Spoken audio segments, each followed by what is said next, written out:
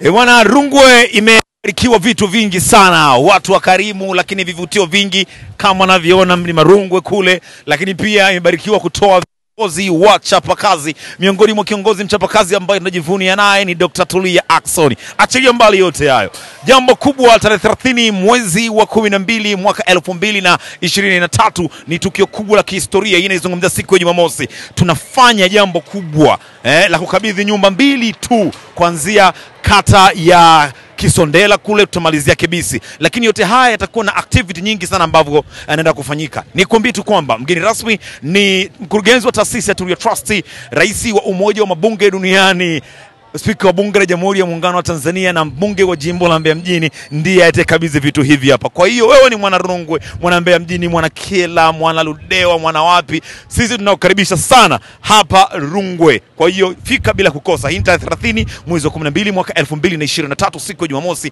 Mambo yanakuwa ni matamu sana. Hii ndo Rungwe yenye nguvu na yenye upendo mkubwa sana.